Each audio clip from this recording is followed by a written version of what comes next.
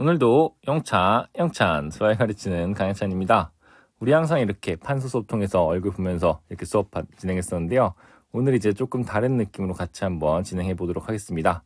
3월모에서 대비해서 우리가 꼭 알아야 되는 기출들을 벼락치기 느낌으로 빠르게 정리해 볼 거예요. 그리고 여러분들이 이렇게 왔다 갔다 하면서 좀 보면서 보기 이렇게 편하도록 이런 식으로 이제 한번 패드로 이렇게 같이 한번 정리해 보면서 정말 빠르게 중요한 문제들 정리해 보도록 하겠습니다. 그래서 어떻게 할 거냐면 이제 제 기출 문제 딱 이렇게 같이 띄워드리면요. 그 문제를 우리가 처음부터까지 다 푸는 건 아니고요. 두 가지를 집중해서 하겠습니다. 첫 번째, 문제 해석하는 방법을 우리가 한번 확인해 볼 거고요. 두 번째, 그 문제 풀이의 아이디어를 확인해 보도록 하겠습니다. 당연히 여러분들 자세한 풀이 하는 건 아니기 때문에 만약에 그 아이디어를 딱 듣고 얘기 다 들었는데 아 선생님이 무슨 말 하는지 알겠고 이렇게 풀면 되는 거였지 하는 문제들은 그냥 당연히 넘어가시면 됩니다. 근데 혹시나 이제 그게 딱 들었는데 아 조금 이제 아리까리한 문제들 있잖아요. 그런 문제들은 요 지금 제가 그 문제 있는 번호가 제 이제 실전기출 수업의 번호이기 때문에 그 번호에 대해서 이제 가서 한번 수업을 직접 듣고 거기서 당연히 제가 이렇게 판서로 정확히 처음부터 끝까지 풀어드리겠죠. 그래서 그 수업 딱 들으면서 한번 다시 복습해 주시면 되겠습니다. 뭐 물론 모든 문제를 다 복습하면 좋겠지만 여러분들 정말 제가 꼭 중요한 문제들만 집었으니까 이거 한번 정리해 보면서 같이 마지막 공부해 보면 좋을 것 같아요. 그래서 한번 바로 시작해 보도록 하겠습니다. 그래서 수학 1, 수학 2 이제 공통 과목들만 할 건데 먼저 수학 1의 스텝 1 레벨에 해당되는 문제 보도록 하겠습니다. 첫 번째 이제 우리 2023년 7월 기출 문제인데요. 이 문제는 보자마자 여러분들 어떤 방향으로 해석할지는 거의 결정이 되겠죠. 뭐랑 뭐 때문에 이제 xn과 xen이라는 표현 때문입니다. 그리고 보다 실근이라는 표현 때문이죠. 즉 뭐냐 이 문제는 xn제곱은 a라는 요 이제 거듭 제곱근중 실수에 대한 문제다 라고 보시면 되겠고요. 우리 문제 당연히 어떻게 하는 거다 n이 모일 때랑 짝수일 때랑 홀수일 때로 나눠서 해주시면 되겠고요. 당연히 짝수일 때는 a가 모일 때 양수일 때 a가 몇일 때 이제 0일 때 a가 음수인지 따라서 개수가 뭐냐 두 개, 한 개, 그 다음 뭐냐 연개 이렇게 나눠진다 보시면 되겠죠. 뭐 홀수일 때 항상 한 개니까 따로 이제 생각할 필요가 없겠습니다. 이렇게 우리가 접근하면 되는데요. 이제 문제 이 문제 특징이라고 한다면 식이 두 개 있죠. xn 제곱은 8이 있겠고요. 다음 뭐 있죠? x의 2n 제곱이 8 있습니다. 그럼 여러분들 실제 문제 풀 때 두 식 중에 어떤 식부터 봐야 될까요? 당연히 여러분들 뒤에 있는 x 2n 제곱은 8이라는 식부터 보셔야 됩니다. 왜냐? 지금은 이 지수가 뭐로 짝수로 고정이 되어 있기 때문에 뭐예요? 이미 내가 케이스를 분류할 필요 없겠죠? 그래서 이렇게 항상 문제 풀 때는 확실한 정보부터 확인해 주시면서 풀어주시면 되겠습니다. 그 다음 이제 한 14번 문제 보겠습니다. 이 문제 보시면 여러분들 뭐예요? 두, 뭐, 무슨 함수가 있다? 지수함수가 있죠? 네, 그 지수함수에 뭐가 일정하다? 밑이 똑같습니다. 그 말은 이 두 함수는 우리가 연관을 지을 수 있다는 거죠. 근데 거기에 이제 문제 보시면 또 밑에 2의 a제곱이라는 게 있잖아요. 지금 내가 이 두 식을 어떻게 바꾸면 좋겠다? 이제 이런 식으로 2의 2x, 그 다음 뭐죠? 2의 2x 빼기 a다. 써주시면 당연히 좋겠죠.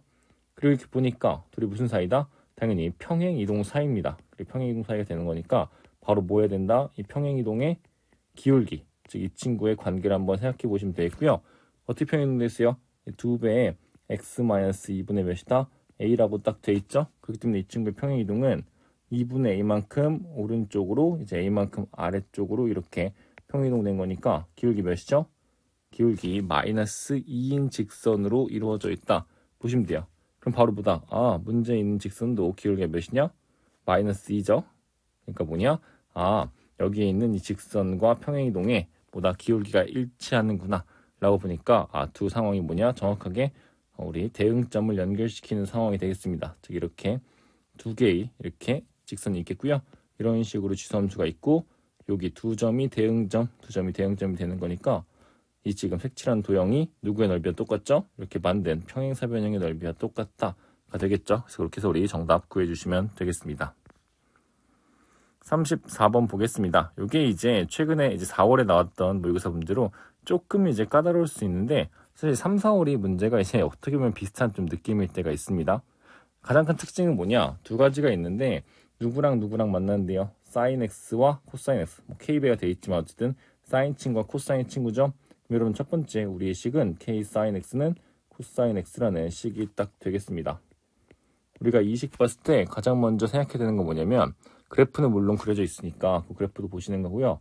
이렇게 식을 바꿀 수 있어야 합니다. 즉 뭐냐 탄젠트 x는 몇이라고 k분의 1이라고 바꿀 수 있으면 우리가 좀 더 해석하기 쉽겠고요. 그럼 어떻게 되는 거야? 이 친구는 탄젠트 x의 그래프니까 이 해가 어떻게 되는 거냐? 탄젠트 그래프 이렇게 이제 그려지는 거죠. 그럼 여기 이제 두 해는 항상 무슨 차이다? 파이 차이다 라고 보실 수 있겠습니다. 즉 문제에 있는 A와 B가 두 해잖아요. 둘의 무슨 좌표가 X좌표가 정확히 몇 차이 난다? 파이 차이가 난다가 되겠죠. 즉 A의 X좌표를 A라고 하면 B의 X좌표는 뭐다? A 더하기 파이다. 이렇게 우리 정리할 수 있는 게 첫 번째 포인트였습니다. 뭐 그 다음 이제 외분, 내분 이런 내용들이 있는데 어차피 이런 뭐다? 외분, 내분과 같은 도형적인 성질은 당연히 뭘로 바꿔주는 거다? 무조건 여러분들 x, y 좌표에 대한 성질로 바꿔주는 거다. 그래서 이제 x, y 좌표에 대한 성질을 바꿔서 방금 구한 것과 같이 연립해 주시면 조금 귀찮긴 하지만 문제 답 구할 수 있겠습니다. 44번 볼게요. 요거는 작년 이제 수능에 나왔던 정말 이제 나름 이제 뭐랄까요. 많은 친구들에게 어려움을 줬던 문제가 되겠죠? 이 문제 같은 경우 여러분들 사실은 보자마자 우리가 생각할 수 있는 게2 더하기 x와 2 마이너스 x 표현이 무조건 당연히 뭘 말하는 거다? 대칭성을 말하는 표현일 수밖에 없습니다. 그래서 이 식 보자마자 대칭성을 생각을 하시는 거고요. 그러면서 사인의 그래프를 그리시면 어떻게 되는 거냐? 사인의 그래프를 그리시면 이렇게 이제 그래프가 되는데 점이 어떻게 돼요?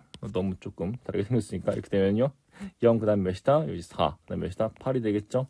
그러면 여기 있는 이제 뭐예요? 마이너스 2라는 친구는 아 2라는 친구는 뭐가 된다? 2 플러스 x 2 마이너스 x잖아요. 그럼 2라는 친구가 요즘 대칭 딱 선이 되겠습니다.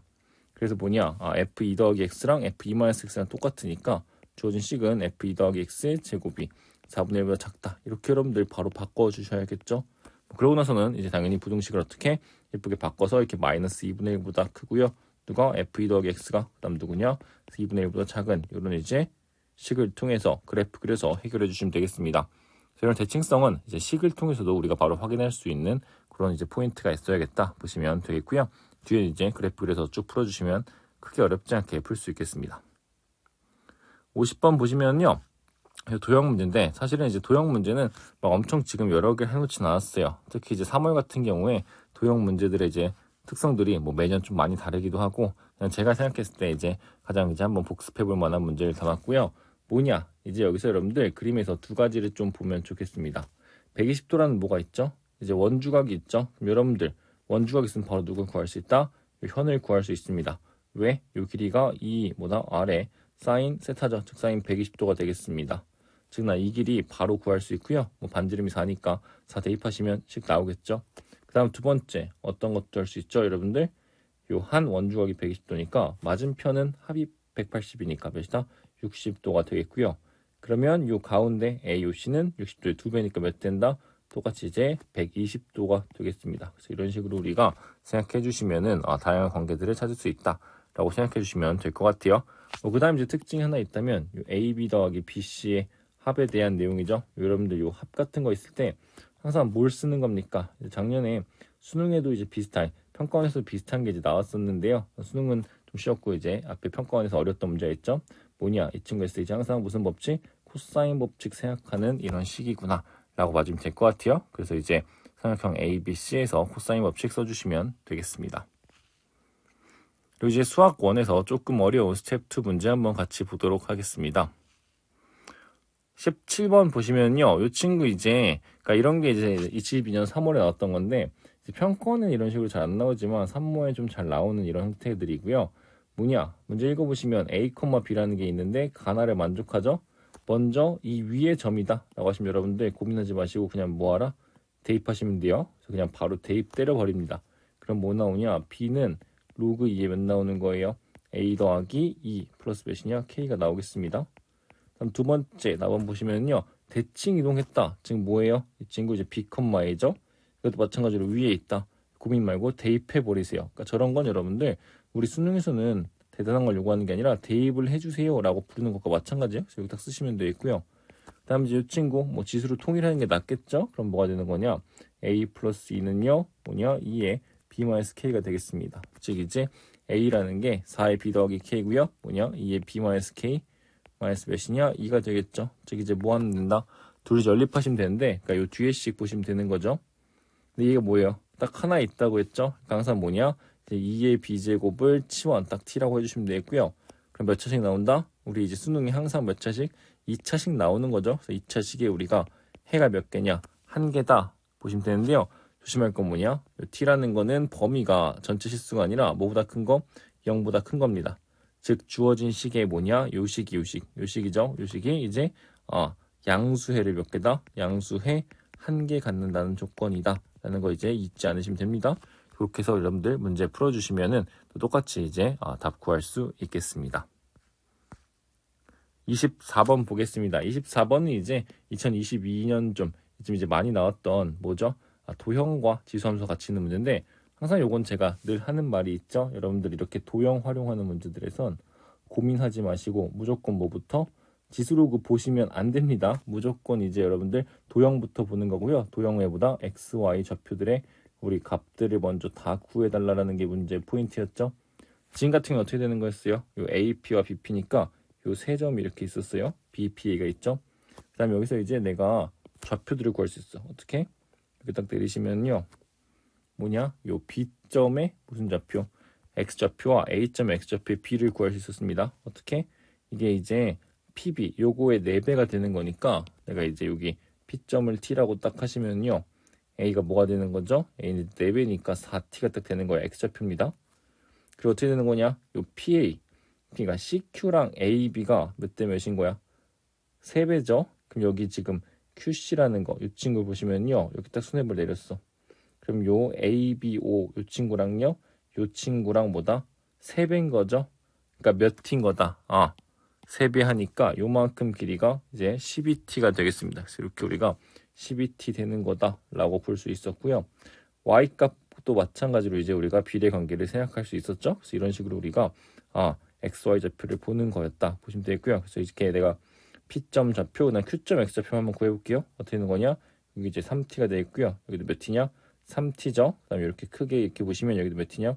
12T가 딱 되겠습니다. 오케이? 그럼 어떻게 되는 거야? 요만큼이 이제 2T죠. 그러니까 아, Q점의 X좌표가 이제 10T다. 이렇게 써주시면 되는 거고요. 이제 Y좌표를 PQ에 대해서 구해서 그 Y좌표의 B를 딱 구해주시면은 정답이 나오겠습니다. 어떻게 나오냐? 한번 보시면요. 이렇게 볼게요. 그래서 여러분들 보시면 레이저가 요거였네. 여기서 뭐냐? 어떻게 돼? 요 친구, 요 친구랑 요 친구가 몇 대 몇이다? 이제 3, 10이니까 1대 4죠. 즉 뭐라고 쓸 수 있다? 이 Q점 좌표, P점 좌표를 내가 이제 T, S다 쓰시면요. Q점 좌표는 10T, 몇 S다? 4S다. 이렇게 해서 우리 두 개 대입하시면 정답 바로 나오는 그런 상황이 되겠습니다. 그래서 항상 제가 이제 방금 풀 때 느끼겠지만 뭐예요? 이제 지수함수를 전혀 쓰질 않습니다. 지금 이걸 다 한 다음에 대입하는 거였죠. 그래서 그 여러분들 기억해 주시면 되겠습니다. 그 다음 25번 한번 볼게요. 이게 이제 방금 이런 24번과 같은 문제들을 약간 이제 틀어버린 교육적 문제들의 특징이라고 보시면 될 것 같은데요. 뭐냐?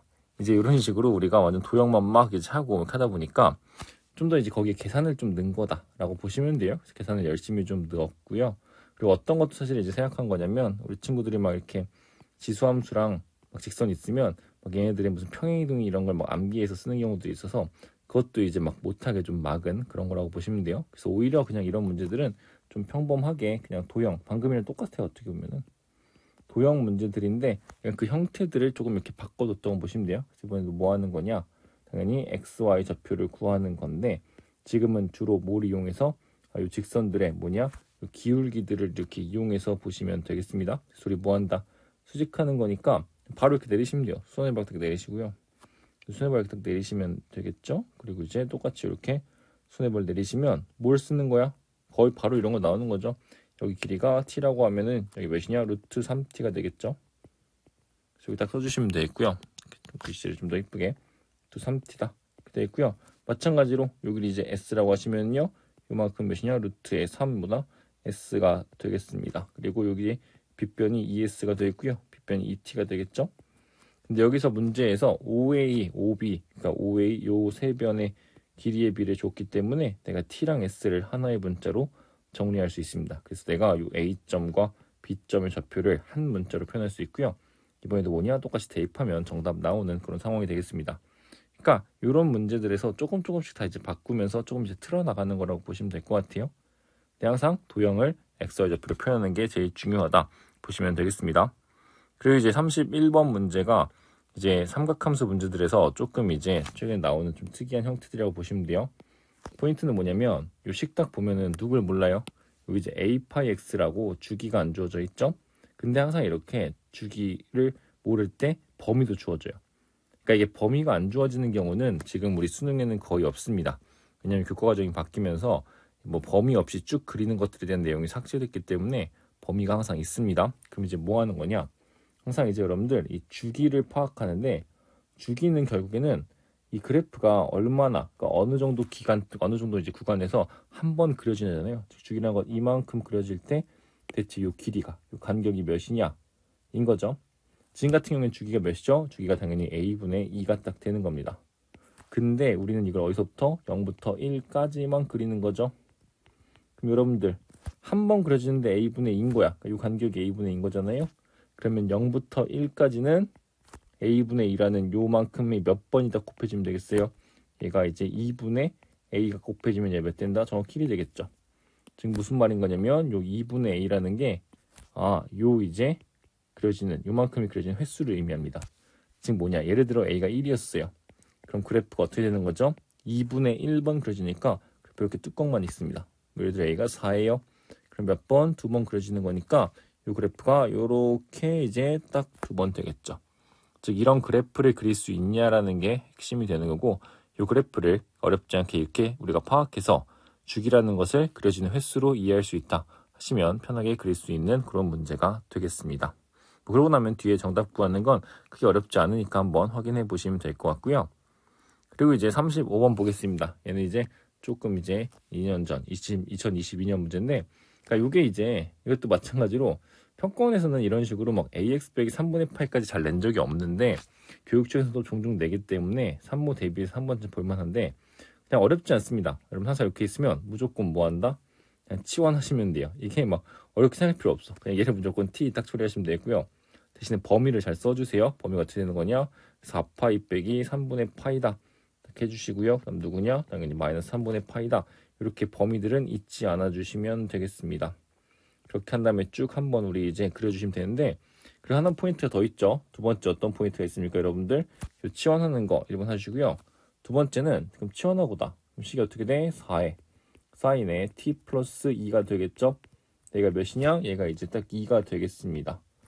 이제 잘못 잘못된 건 아니지만 힘들어지는 경우가 얘 그래프를 막 그리는 거예요. 근데 걔 그래프를 그리면 인생 힘들겠죠? 그게 아니라 절대값을 이렇게 풀어주면 됩니다. 4사인 t 플러스 2가 몇이냐? 얘가 이제 2가 돼도 괜찮겠고요. 혹은 몇이죠? 얘가 이제 마이너스 2가 돼도 괜찮죠. 즉 두 식을 다 풀어야 되겠고요. 정리하시면 4 사인 t가 몇이냐? 0이 되거나요? 몇이냐? 얘가 마이너스 4가 되겠습니다. 즉 결론은 뭐냐? 나는 다 정리하면요. 사인 t가 몇이거나 0이거나 사인 t가 마이너스 1이 되는 거다. 그러니까 이런 정말 쉬운 방정식으로 바뀐다는 게 핵심이고 이것을 주어진 범위에서 그려주시면 되겠습니다. 57번 보겠습니다. 이 친구 이제 등차지열 또 유명한 아주 아주 아주 유명한 이제 평가원 기출인데 이 문제 포인트는 이제 요거죠. 가번이야 다들 잘하고요. 나번의 포인트가 있습니다. 이 식 어떻게 해석하는 거냐? 당연히 SN 중에 무슨 값, 최 무슨 값, 소값이 누구보다 마이너스 100보다 크다. 이렇게 이제 말해주면 되는 건데 이 문제의 포인트는 SN 최수를 어떻게 구할지입니다. 여러분 항상 SN 딱 생각하면 무조건 2차 함수 생각하는 경향들이 있는데 최소 또는 최대를 물어볼 때는 2차 함수 생각하는 것보다 항상 뭐를 생각하는 게 좋다? AN을 생각하는 게 빠른 경우들이 많습니다. 그래서 AN을 항상 고민하시는 거예요. A가 어떻게 되는 거냐? A라는 게 언제 SN 최소가 되는 거죠? 당연히 A라는 게 마지막 뭐일 때? 마지막 음수일 때 또는 몇일 때? 이제 0이 될 때. 뭐가 되는 거냐? 당연히 SN이 최소가 되겠습니다. 즉 그래프로 한번 나타내 보면은 AN의 그래프예요. 이렇게 이제 AN이 이제 양수인 상황, 그러니까 기울기가 양수인 상황이 되겠죠? 그럼 언제 이렇게 마지막 요 순간 여기까지 딱 더했을 때가 뭐냐? 요만큼의 합이 당연히 최소이겠고요. 이때의 합이 마이너스 100보다 크기만 하면 되는 거니까 이 문제는 AN을 보는 문제였구나. 이렇게만 봐주시면 되겠습니다. 그리고 이제 59번 한번 보겠습니다. 이 친구 문제 보시면 뭐예요? SN들이 좀 몇 개 있다. 이렇게 세 개 있는 거죠. 이렇게 SN 세 개 있는 경우에 어떻게 하는 거냐? 고민할 거 없죠. 이렇게 SN이 뭐냐면 여러 개야. 여러분들 무조건 뭐 하는 거죠? 여러 개면 우리 방금 문제와는 다르게 어, SN의 2차 함수 해석을 해석해 주시면 되겠습니다. 2차식 한번 보시면 되겠죠? 그래서 2차식을 우리가 지금 뭐 한 거다? 그래프 그려주시는 거다. 보시면 될 것 같아요. 그래서 그래프 그려주시면 되겠고요. 참고로 여러분들 작년에 나왔던 이제 평가 문제 중에 이런 게 있었죠? 시그마. K는 예를 들어 1부터 막 이제 6까지 해가지고 6이었나요? 7이었나요? 뭐 숫자 중요하지 않으니까 이렇게 해서 SK를 합하는 이런 문제가 있었고요. 이때는 똑같이 2차식인데 뭐다? 이거를 내가 뭐로 식으로 이해했었습니다.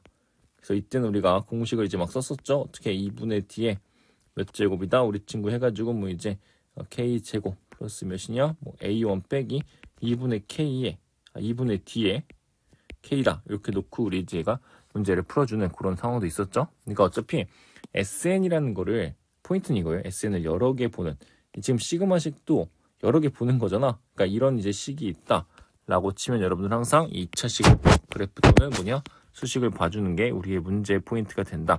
이렇게 이제 한번 보겠습니다. 그리고 이제 우리 마지막으로 점화식 문제 하나 볼게요. 작년 점화식 문제들이 거의 비슷한 패턴이 있었습니다. 뭐냐? 이렇게 이제 조건식에 뭐 홀수냐, 짝수냐, 4의 배수냐, 3의 배수냐, 뭐 아니면 4의 배수가 아니냐, 뭐 3의 배수가 아니냐, 뭐 이렇게 이제 어, 나머지에 대한 문제들이 많았는데요. 이건 사실 간단합니다. 이런 표현 나오면 여러분들 항상 그냥 세상은 4의 배수라고 치면요. 4의 배수거나 뭐냐, 4의 배수 플러스 몇이거나 1이거나 플러스 몇이거나 2거나 플러스 몇이거나 3이거나 이렇게 여러분들 분류해 주시면 되는 겁니다. 그렇고 나서 이제 문제를 읽어보면은 요 이제 조건 항들이 있겠죠? 지금 같은 경우엔 3항, 5항이 이제 중요한 첫 번째 조건이 되겠고 4항, 5항이 되겠죠? 그러니까 우리 어떻게 생각하는 거냐? 3항부터 시작해서 어디까지 가는 거죠? 5항까지 이렇게 이제 가는 게 되겠습니다. 근데 이제 3항이 뭔지 모르니까 이걸 이제 4m일 때 하시고요. 4m 더하기 1일 때, 그 다음 뭐냐? 4m 더하기 2일 때, 4m 더하기 3일 때 보는 거구나. 이렇게 해서 한번 그냥 쭉 전개해 주시면 어렵지 않게 정답 구할 수 있겠습니다. 네, 이제 수학투 한번 보도록 하겠습니다. 5번 먼저 보면요. 작년 3월 문제죠. 이쯤 같은 경우에 작년에 비슷한 유형들이 많이 나왔는데 포인트는 뭡니까? 2차 함수랑 딱 직선이 만났어요. 그럼 내가 이 교점들에 대해서 알파 베타로 딱 하면은 두 해를 내가 뭐냐? 근과 계수관계를 구할지 혹은 근의 공식을 구할지 그것만 고민하시면 되는 거겠고요. 지금 같은 경우에는 우리가 뭘로 구할 거냐? 이제 보통 근과 계수관계로 지금 구할 겁니다. 왜 그러냐? 라고 한다면 AB 길이가 2t라고 했죠? 근데 이제 내가 여기서 뭐예요? 이렇게 직각 이등분삼각형을 만들어주시면 둘의 뭘 알고 있다? 둘의 이제 차를 압니다. 왜? 2t니까 루트의 몇 t가 2t가 딱 되겠죠? 차를 내가 알고 있기 때문에 아, 근과 계수관계를 잘 쓰면은 금방 구할 수 있는 그런 문제가 당연히 되겠습니다. 12번 보겠습니다. 12번 이제 여기서 이제 두 가지 포인트가 있어요. 첫 번째, 가번에서 내가 이 뭐예요? 극한식 어떻게 해석할지 보는 건데 항상 여러분들 이건 이제 공식을 아예 외워버린 친구들도 있을 텐데 한번 원리를 생각해보면 되게 간단합니다. 이제 꼴을 딱 결정을 먼저 해야 되는데 분모 어디로 간다? 0으로 하죠. 그렇기 때문에 분자도 어디로 0으로 갑니다. 즉 f 빼기 1이라는 게 뭐냐? x를 인수로 가져요. 항상 친구들 요 fx 빼기 1 자체를 하나의 식으로 생각해 주세요. 즉 얘를 뭐냐? x의 gx다.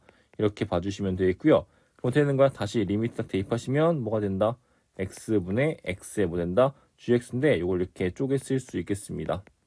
이렇게 해버리면 이 앞에 요 절대값 파트 있죠? 얘가 이제 무슨 극한일 때? 좌극한일 때는 뭐로? 이제 마이너스로 풀리고요. 우극한일 때 뭐냐? 플러스로 풀리게 되겠습니다. 즉 이렇게 1 곱하기 gx 그다음 뭐죠? 마이너스 뭐 이런 식으로 이제 부호가 달라지니까 뭐다? 아 gx도 이제 0을 해로 간다. 즉 뭐야? Gx도 x를 인수로 갖게 이제 되겠습니다. 그래서 x 곱하기 뭔가 되겠죠? 결론은 얘가 x 제곱 곱하기 hx 형태가 된다라는 게 문제 포인트 되겠고요. 답번 보시면 부등식이 있죠? 부등식 제일 이제 기본적인 방법은 뭐냐? 당연히 한쪽을 이렇게 몰아주는 겁니다. 그래서 이렇게 이양시킨 다음에 대입해서 풀어주시면 거의 바로 이제 정답 구할 수 있는 그런 상황이 되겠습니다. 이제 가번 같은 이제 절대값이 포함된 극한은 최근에 좀 많이 나오고 있으니까 이렇게 우리 원리 딱 이해해 주시고 정리해 주시면 되겠습니다. 다음 24번 보겠습니다. 요건 이제, 이제 어떤 그 이제 그래프를 선택하는 문제의 가장 이제 시작점이 되는 그런 문제 중에 하나고요. 근데 왜 얘를 골랐냐? 이 기회에 여러분들 한번 이제 요 2차 방정식의 문야 근거 계수관계 복습해 보자는 거죠. 어떻게 됩니까? 합과 곱을 알죠? 즉 나는 어떤 식을 만들 수 있다? T 제곱 그다음 뭐가 되는 거죠? 빼기 합이죠. x 제곱 더하기 뭐예요? 3x t 그다음 뭐냐? 플러스 x 제곱 더하기 1 그다음 뭐예요? 3x 빼기 1은 0에 해가 누구냐? 이제 fx와 gx가 된다라고 하는 거죠. 즉 내가 fx와 gx를 이렇게 식을 써볼 수 있고요. 두 개 뭐냐? 이제 선택을 하는 거죠. 그러니까 식이 이렇게 헷갈리지 않은데요. fx, gx가 될 수 있는 후보들이 뭡니까? 이제 x제곱 더하기 1과 3x-3이 되는 건데 그렇다고 fx가 항상 x제곱 더하기 1이 필요가 있는 게 아니었죠? 즉 그래서 이렇게 2차 함수와 이렇게 직선식이 있고 내가 필요에 따라 선택을 하는 겁니다. 즉 어떻게 이렇게 갈아타는 게 이제 되겠죠? 즉 얘가 fx 되고요. gx가 반대쪽 이렇게 갈아타는 친구가 된다라고 봐주시면 되겠습니다. 43번 보겠습니다. 43번 작년 수능 문제인데 이게 사실은 친구들이 못 푸는 걸 항상 보면은 왜 못 푸는지 다 정해져 있어요. 뭐냐 문제를 해석하지를 않고 그냥 막 그리는 경우가 있어. 근데 이제 항상 우리 뭐 모평도 그렇고 수능 문제도 그렇지만 이렇게 식이 있고 문제의 조건이 있잖아요. 그러면 거기서 해석해야 될 건 봐야 돼요. 뭐냐면 원점에서 접선을 딱 그렸잖아. 그럼 여러분들이 이식 보자마자 두 가지를 아셔야 돼요. 첫 번째 문제 나왔지만 F형은 몇이냐?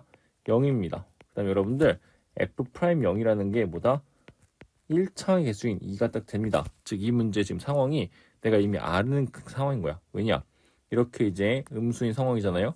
그럼 0이 어디 있겠어요? 0이 최소한 여러분들 요쯤, 그러니까 요 가운데 증가하고 있는 부분에 있는 걸 알고 있습니다. 그래서 이 그래프를 바로 그릴 수 있어. 여러분들 보면 그래프를 바로 안 그리고 막 이상한 고민을 하는 경우들이 많거든요. 아니면 막 할 수 있는 걸 다 그리거나. 근데 그게 아니라 바로 이렇게 그려지게 되겠습니다. 이렇게 바로 그려지고 이제 여기서 이렇게 몇 x 그린다? 2x 그려주시면 되겠죠? 그럼 이 교점 좌표를 바로 구할 수 있고 둘 이 이렇게 조건에 따라서 수직이 되어야만 하기 때문에 정답을 바로 구할 수 있는 그런 형태들이 되겠습니다. 그래서 아 이런 문제들이었구나. 제가 항상 하고 싶은 말은 이런 식으로 좀 조건들을 진짜 문제 있는 것들 원점의 접선을 구하라고 했잖아. 그럼 그걸 구해주시는 게 좀 제발 좋지 않을까? 라는 부탁은 좀 드리고 싶어요. 그리고 이제 52번 보겠습니다. 이 친구 보시면은 어떤 식인 거죠? 이렇게 2차 함수가 어떻게? 아, 구간별로 주어져 있습니다. 여기서 여러분들 이제 식을 봤을 때 마이너스 f 마이너스 x 정도죠? 여러분들 이런 식 같은 건 내가 바로 뭐 할 수 있다? 그래프로 그릴 수 있는 거죠. 그러니까 이런 뭐 대칭 이동, 평행 이동 정도는 우리가 보통은 이제 그래프로 해석하는 게 조금 더 쉬운 경우들이 많다 보시면 될 것 같아요. 뭐 항상 그런 건 아니지만 보통 평가원 같은 경우에는 이렇게 그래프로 그리면 편하게 내는 경우가 많다 보시면 될 것 같고요. 그다음 이제 가번에 있는 극한식 보시면 무슨 의미입니까? 아, xx 0 0이니까 아 미분계수의 식이죠. 즉 이 말은 두 가지를 함축하고 있습니다. 첫 번째 뭐냐? 미분이 뭐하다? 가능하다. 그리고 그때 뭐냐? 개수가 몇이냐? 4가 된다. 이렇게 이제 보시면 되겠죠. 즉 주어진 조건을 그려보면은 이렇게 되겠습니다.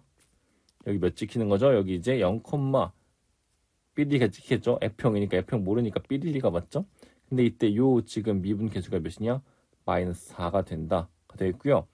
0 이상일 때 그래프는 어차피 원점 대칭한 다음에 그러니까 원점 대칭한 다음에 평행 이동한 그래프죠.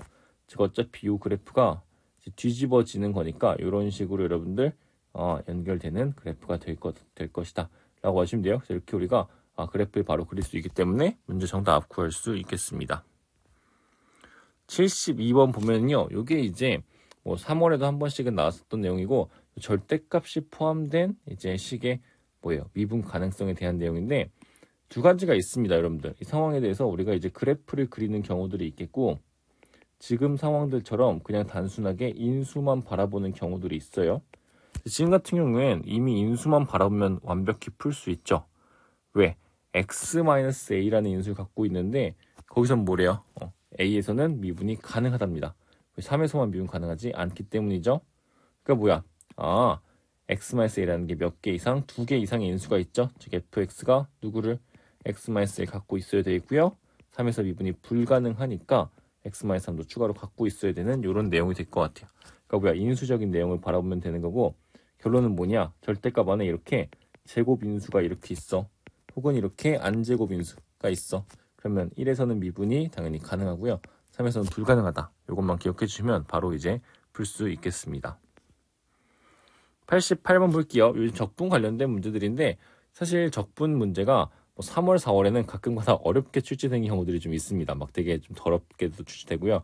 근데 이제 기본적으로 우리가 평가원이나 뭐 수능에서는 막 복, 그렇게 복잡한 적분이 출제되지 않으니까 우선 기본적인 이런 문항들을 한번 생각해봤고요. 포인트는 이제 둘러싸인 부분의 넓이라는 것의 의미, 그다음 뭐예요? 요 가번 조건에서의 의미를 보시면 되는데 여러분들 둘러싸인 부분의 넓이는 결국 뭐예요? 중요한 건 이 친구의 부호를 따지는 거죠. 즉 누구 fx의 부호를 따지는 거고 그 부호를 통해서 내가 정적분을 어떻게 할지를 결정해 주시면 되겠습니다. 지금 문제 보시면 어떻게 돼요? 증가하고 있다고 했고 보다 아 이제 3씩 갈 때마다 4씩 커지죠? 근데 0부터 6까지 딱 적분하시면 값이 몇이래요? 이제 0이래요. 그러니까 이제 이 사이에서 부호가 뭐 할 수밖에 없다? 바뀔 수밖에 없겠죠? 즉 그래프가 어떤 식으로 되냐? 뭐 정확하게 그릴 수는 없지만 뭐 대략적으로 했을 때 이런 식으로 뭐 이렇게 이렇게 해서 이런 식으로 이제 아 이렇게 되는 그래프구나 라고 보시면 될 것 같아요. 그래서 이렇게 이제 반복되는데 여기서 우리가 파악해야 되는 게 두 가지가 있습니다. 첫 번째 6, 9 사이에서는 어차피 뭐냐 0 이상이다. 즉 내가 구할 값은 인테그랄 6부터 9까지 적분밖에 구할 필요가 없겠다 보시면 되겠고요. 다음 두 번째 내가 또 따져야 되는 건 여기서 여러분들 항상 이제 실수한 것 중 하나가 이렇게 부호가 바뀌는 상황에 대해서 막 되게 이제 막 그림으로만 풀려고 해서 뒤에 걸 이제 막 이제 3부터 6까지 할 때 실수하는 경우들이 많습니다. 근데 그렇게 하지 마시고 이런 상황에서는 그냥 뭐 한다? 주어진 가번식 있죠? 여기 그냥 수식적으로 적분을 때려 버리시면 되겠습니다. 그래서 뭐냐? 요 식에다가 그냥 적분 인테그랄 예를 들어 뭐 해서 뭐 3에서 어디까지 6까지 이렇게 하시고요. 3에서 6까지 dx 딱 해버리시면 우리가 이제 원하는 값들을 구할, 수 있죠. 즉 왜? 이 우변이 인테그랄 0부터 3까지 몇이냐? fx dx가 되겠고요. 그 다음에 뒤에 적분 딱 보시면 인테그랄 3부터 6까지 4dx니까요. 이 파트가 몇이죠? 3, 4, 12가 됩니다. 그래서 이걸 나에 적용하면은 정답 바로 구할 수 있겠고요. 같은 식을 또 적용하시면 정답도 바로 또 구할 수 있겠습니다. 그러니까 이렇게 부호가 바뀔 때에는 어, 수, 그러니까 그래프로 끝까지 구하는 것보다는 이렇게 수식적으로 보는 게 쉽다는 그런 교훈을 주는 좋은 문제니까 이렇게 한번 복습해 주시면 되겠습니다. 100번 보겠습니다. 이런 게 이제 뭐 3, 4월에 주로 나올 수 있는 그런 이제 문제들인데 이런 것들은 이제 공식을 되게 빡세게 우리가 쓰면 훨씬 더 잘 풀리는 문제니까 공식 한번 복습해 보자 라는 의미예요. 여기 B 보시면 교점좌표 몇이냐? K라고 딱 주어졌죠? 그럼 여러분들 요 밑에 있는 S2라는 거의 넓이는 어떻게 구할 수 있겠습니까? 이 넓이 그냥 뭐다? 어, 이차 함수와 직선을 둘러싸인 넓이니까 공식을 바로 알고 있죠? 최고차의 개수를 모르니까 이제 6분의 몇 되는 거냐? 최고차를 내가 이제 A라고 하시면 A의 X좌표 차이 몇이에요? A랑 B의 K죠? 즉 뭐냐? K의 세제곱이다. 이렇게 써주시면 되겠고요. S1도 마찬가지입니다. 이것도 우리가 공식을 알고 있죠? 어떻게 이런 공식 아니었습니까? 3차 함수인데 요렇게 접할 때 내가 요 길이가 지금 몇인 거 K인 거죠. 쉽게 말해서 왜 X좌표 차이가 K니까 이 친구의 식을 내가 또 바로 공식을 알고 있습니다. 그래서 우리가 이제 뭐냐 뭐 12분의 1에 K의 몇 제곱 적분이니까 뭐 4제곱이다. 이렇게 두 식을 이제 비교해서 이제 정답 구해주시면 되겠습니다.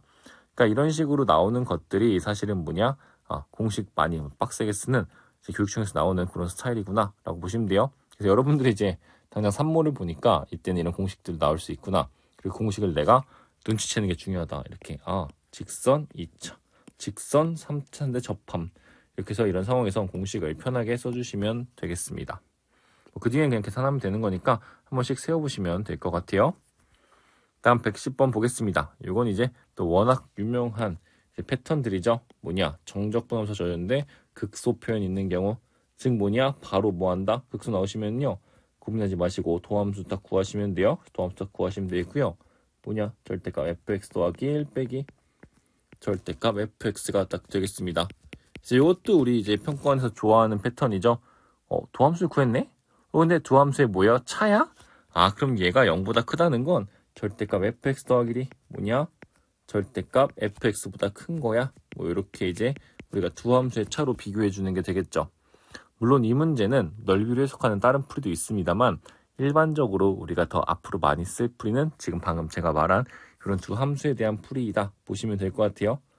그러니까 어떤 한 문제를 꼭 이제 여러분들 가장 빠르게 풀 수 있는 풀이를 공부하지 마시고 가장 뭐랄까 범용적인 풀이를 좀 공부를 하셔야 돼요. 그래야지 여러분들이 시험장에서 당황하지 않습니다. 그래서 이렇게 해서 딱 옮겨주시면 되고요. 얘가 이제 뭐가 된다? 왼쪽 게 이제 절대값 fx 더하기 1이었고요. 오른쪽 게 뭐냐? 절대값 fx니까 이 두 친구의 교점을 이제 보시면 되고요. 이 중에서 아 이런 것들이 이제 뭐예요? 이런 것들이 이제 극값을 갖는 x좌표다. 그래서 우리가 정답도 구해주시면 되겠습니다. 그래서 이런 내용들은 우리 항상 나오는 것들이니까 도함수로 구해주자 보시면 될 것 같아요. 다음 111번 보겠습니다. 요 같은 경우에 이제 또 하나 언급하려 그래요. 정적 분함수 있는 거 좋고 최소값 있습니다. 아 최소값 있다? 그럼 무조건 뭐 한다? 도함수 이제 구하는 거다. 보시면 되고요. 도함수 구하시면 뭐냐? fx 뭐예요? 플러스 fx입니다. 즉 2fx에 되어 있고요. 이 친구가 최소값을 간다고 했잖아. 어디서? 2에서. 그러니까 두 가지가 있는 거예요. 첫 번째 g는 0이다. 되어 있고요. 그 다음 뭐예요? g'x의 부호가 그러니까 0이라고 끝나면 되는 게 아니라 g'x가 뭐냐? 최소니까요. 마이너스에서 0에서 뭐냐? 플러스로 바뀌는 이 부호 변화를 관찰하는 게 문제의 핵심이었습니다. 또 하나 핵심이었다면 뭐죠? 요 n은 자연수이다. 이런 거 나오면 여러분들 고민할 필요 있다 없다? 전혀 없습니다. 차례로 뭐냐? n에 1부터 대입해 주세요. 이거를 대입 안 하는 건 어, 너무 했다. 너무 나쁜 거예요. 무조건 대입해서 풀어주시면 되겠습니다. 그리고 124번 보겠습니다. 요건 이제 또 작년 6월 문제인데요. 이건 뭐 문제 자체가 어려운 건 아니고 요 이제 또 평가원이 좋아하는 패턴이 있습니다. 4차 식이 있죠? 근데 여러분들 두 개는 압니다. 누구랑 누구? 0과 1은 알고 있죠? 모르는 건 누군 거야? A와 EA죠? 여러분들 뭐냐? 무조건 이제 케이스 분류하는 거구나 라고 봐주시면 될 것 같아요. 그래서 이게 이전까지는 3차 함수에서 주로 나왔는데 작년에 처음으로 4차 함수로 한번 나왔다 보시면 될 것 같고 아, 물론 어려운 건 아닙니다. 그래서 이렇게 우리가 어, 0과 1은 고정해놨고요. 어떻게 케이스 나왔는다? 뭐 예를 들어 A가 여기 있고 뭐 2A가 있다거나 뭐 A가 여기 있고 2A가 있다거나 뭐 이런 식으로 여러분들 케이스 나눠서 모든 거 확인해 주시면 되겠습니다. 그래서 케이스 나눈 생각만 딱 하면은 노가다 띄우면 되니까 노가다 해주시면 되겠고요. 그게 아니면은 어차피 여러분들 이제 그러니까 괜히 막 미리 생각하지 말라고 그냥 무조건 케이스 나눠서 푼다 생각해 주시면 되겠습니다. 뭐 그다음에 이제 위치의 변화량과 거리의 차이는 알고 있죠? 위치의 변화량은 그냥 적분이다. 거리는 속도 절대값의 적분이다. 이것만 확인해 주시면 되겠습니다. 그리고 이제 한번 스텝 2 몇 문제만 볼게요. 어차피 스텝 2라는 건 이제 수학 2에선 22번 하나를 의미하기 때문에 진짜 이 벼락치기이기 때문에 뭐 22번 벼락치기 이러는 건 아니고 그러니까 몇 가지 포인트들만 딱 짚고 넘어갈게요. 7번 보겠습니다. 요거는 아마 이제 3모에 나온다면 꼭 이제 막 킬러가 아니더라도 나올 수 있는 그런 내용이라서 한번 보겠습니다. 두 가지 포인트가 있었죠. 뭐냐? 이렇게 이제 함수가 있는데? 연속이라는 조건이 있어 없어? 없습니다. 그래서 그게 포인트고요. 그 다음 뭐야? 연속이 없는데 플러스 여기 이제 어, 극한과 함수값이 다릅니다. 즉 이 말의 의미는 요 바뀌는 순간이라는 거죠. 그래서 바로 알 수 있는 게 뭐냐? 바뀌려면 F3이 몇이냐? 0이다. 요거 딱 아시면 되겠고요. 이제 여기서 극한값을 계산해야겠죠? 그래서 포인트가 뭐였어요? 요 앞에 식을 보시면 되는데 뭐야? 분 뭐가 누구를 해로 갖는다? 3을 해로 갖는 거죠? 근데 이제 분자 보시면 꼴을 맞춰야 되는데 이 위에 거는 3 대입하시면 F3 더하기 1이니까 당연히 몇 된다? 1이 되는 거죠? 얘는 0이 안 돼. 즉 뭐냐? 위에 식에서 F3 더하면 3 대입하시면 6은 0이죠? 즉 내가 fx식을 바로 쓸 수 있습니다. 어떻게? 인수 두 개 알죠? x-3, x-u가 있고요. 또 하나 이제 모르니까 x-a다. 이렇게만 놔두시면 풀리는 그런 문제가 되겠습니다. 즉 연속이 아닐 수도 있다는 거 잊지 마시고요. 연속이 아닐 경우에 내가 어차피 언제 바뀌는지 확인하시면 되고 사실 솔직히 말해서 문제에서 이렇게 물어보는 경우가 그냥 불연속 바뀌는 경우일 거예요. 100%. 그렇지만 뭐 그렇게 찍지는 마시고 네 그럴 가능성이 매우 매우 높다 하시면서 보시고 분모 분자에 뭐냐 이렇게 딱 이렇게 맞아서 약분이 되어야 된다라고 보시면 되겠습니다. 15번 보겠습니다. 얘는 이제 사실 이제 평가원에서는 이런 식으로 또 합성함수를 수학투에서 다시 낼 것 같지는 않긴 한데 이제 또 교육청에서는 또 어떤 행위를 할지 모르니까 한번 이렇게 마지막으로 정리해보는 내용이 되어 있고요. 뭡니까? 합성함수의 뭐냐? 최소값. 그 다음 뭐죠? 합성함수의 방정식입니다. 그럼 합성함수 최소값은 뭐냐? 그냥 이렇게 보면 되겠죠? gx를 어디서? fx의 뭐에서 치역에서 보면 되겠습니다. 근데 여러분들 지금 fx가 몇 차 함수다? 3차 함수가 되겠죠? 즉 fx의 치역은 뭐냐? 그냥 실수 전체가 되겠습니다. 즉 뭐냐? 지금 이 문제의 조건은 그냥 gx의 최소값을 m이라고 하자는 거죠. 즉 이렇게 우리가 바로 판단해 주시면 되겠고요. 합성함수의 뭐예요? 방정식이죠? 여러분들 고민할 필요 있다 없다? 없습니다. 뭐 지금 gx 최소는 몇이야? 한 번만 계산해 보면 x-3의 보다 제곱 플러스 1이 되겠죠? 즉 요 m 값이 1입니다. 그리고 요 gfx는 1이라는 요 식은 무조건 에서부터 바깥쪽부터 풉니다. 즉 g t는 1이다. 딱 쓰시고요. fx는 뭐냐? t라고 이제 두 단계로 풀어주시면 돼요. 특히 수학2에서 합성함수는 뭐 어려운 다른 이제 스킬 같은 게 필요한 게 아닙니다. 뭐 이제 시중에 있는 뭐 n축이나 이런 것들이 수학2에서는 강력하게 작용하는 경우들이 여태까지 기출에서 사실 거의 없었고, 그러니까 그냥 이제 차분하게 바깥쪽부터 푸시기만 하면 돼요. 그래서 뭐냐, t가 몇 된다? 어, 3 된다. 딱 하시고요. gfx는 3이다 해서 풀어주시면 되고요. 아래 것도 똑같이 풀어주시면 되겠습니다. 36번 보겠습니다. 요건 이제 작년에 사관학교에서 한번 나왔어서 이런 표현들도 한번 이제 복습해보자 라는 의미로 했고요. 사실 이제 3월 같은 경우에는 매년 총 22번의 주제들을 되게 버라이어티하게 바꾸는 편이긴 합니다. 근데 좀 이제 이런 식의 것들을 참고할 수도 있지 않을까 해서 한번 출, 한번 이렇게 정리를 해보는 거고요. 그러니까 요새 이제 또 이거 마찬가지입니다. 이런 식으로 좀 극한 갖고 좀 장난을 쳐서 여러분들한테 해석 요구하는 경우들이 좀 많은데요. 여러분들 여기서 이제 요 앞에 건 잘 알아요. 요 앞에 요 식은 당연히 알고 있어요. 이건 어렵지 않습니다. 어차피 뭐 하는 거냐? 수렴해야 되는 거니까 뭐다? 분자도 어디로 가요? 분자도 0으로 가는 거죠. 그래서 이제 분자가 0으로 안 가면 어차피 수렴 안 하니까 이제 뭐예요? H가 어디로 간다? 0으로 가니까 식을 어떻게 바꾸면 돼요? 리미트에 h0 플러스를 딱 바꾸고요. 그 다음 뭐냐? h분의 이제 gt 플러스 h 빼기 몇이냐? 이제 GT다. 이렇게 딱 써주시면 되겠죠? 이렇게 딱 써줄 거고요. 그 다음 뭐냐? 곱하기. 사실 원래 이거는 이제 쪼갤 수 있냐 없냐 이것도 원래 따져야 되는데 이 우극한도 안 쪼개지는 경우는 우리의 시험에 나올 수는 거의 없기 때문에 어떻게 보면 이렇게 좀 편하게 쪼개주시면 될 것 같고요. 이렇게 한번 쪼개시면 되겠고 이제 이 값을 우리가 따져주시면 되겠습니다. 그 뭐냐? 이 좌변, 좌측이라고 해야겠죠? 좌편은 아니고 왼쪽 식은 어, 무슨 미분이다? 이제 우미분이다. 라고 보시면 되겠고요.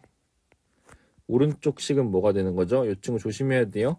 그냥 좌미가 아닙니다. 왜? 여기에 이제 마이너스 이렇게 있으니까 마이너스 딱 쓰시고 마이너스 1 곱해주시면 뭐냐? 우리 친구는 이제 마이너스에 이제 마이너스 h니까 그러니까 여기 마이너스 h죠. 그러니까 무슨 이야?